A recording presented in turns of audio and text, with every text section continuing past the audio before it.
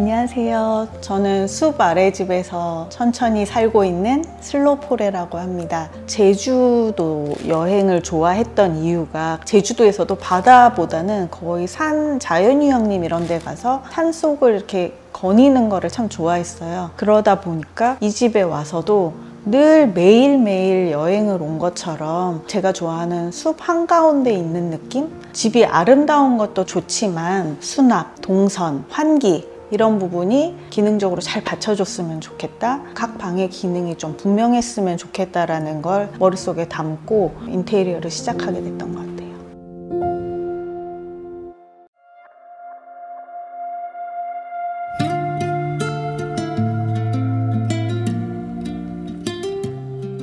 거실에서는 휴식을 좀 최대화하기 위해서 물건을 최소화하고 그러다 보니까 TV 같은 것도 방으로 넣게 됐어요. 또 약간 명상센터, 수도원 약간 이런 느낌도 들고 소파가 거의 누울 수가 있거든요.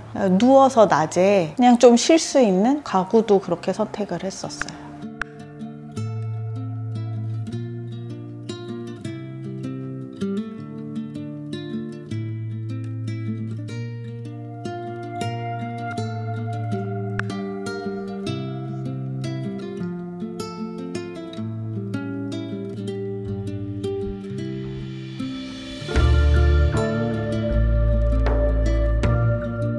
사실 이 공간 자체는 미니멀해 보이지만 되게 맥시멀한 사람이에요. 특히 주방 용품, 그릇 이런 게 너무 많아서 깔끔하게 잘 보관을 하면서 동시에 그릇을 가지러 막 여기저기 돌아다니지 않게 기존에 있던 이 오래된 아파트 구조에서는 한계가 있더라고요. 그래서 뒷 베란다를 확장하고 다이닝 테이블을 놓는 자리 쪽을 최대한 주방을 이끌어낸 거죠.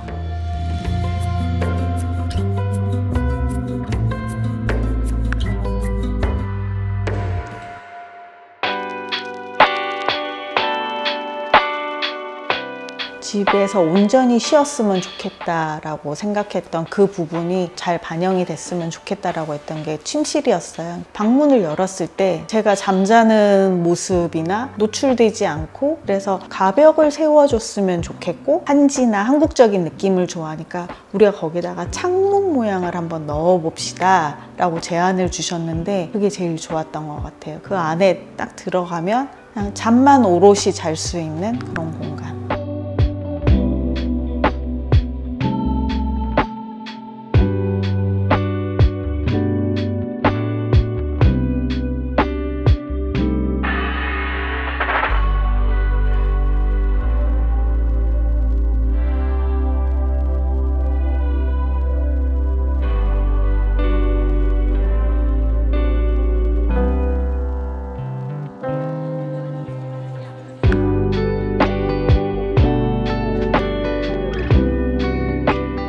이름은 명상방이라고 하지만 저 방에서 제가 책도 보고 PC로 어떤 번역 같은 일을 하기도 하고 하는데요. 그래서 명상을 하는 쪽은 약간 단차를 높여서 한국의 평상의 느낌? 그거를 살림과 동시에 제가 명상할 때 사용하는 싱잉볼이라는 종이 있는데 그 부분이 또 다른 밑에 집에 소음이 전달되지 않게 하는 그 기능적인 면도 좀 생각하고 만들었습니다.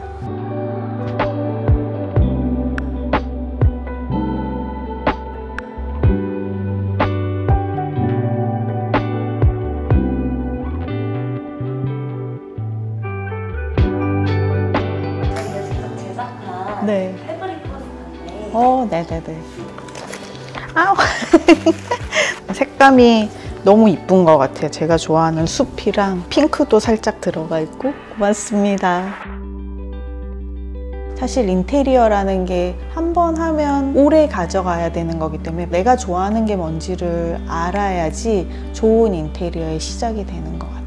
회사를 그만두게 됐던 게 이제 몸도 많이 안 좋아졌었는데 그때 뭐 염증 지수나 이런 것도 막 올라가고 전체적으로 안 좋았는데 그 수치들이 여기 이사 오고 한 6개월 지나서 다시 검진을 받았을 때 다 정상으로 돌아오더라고요. 그래서 집에서 힐링을 하고 있다.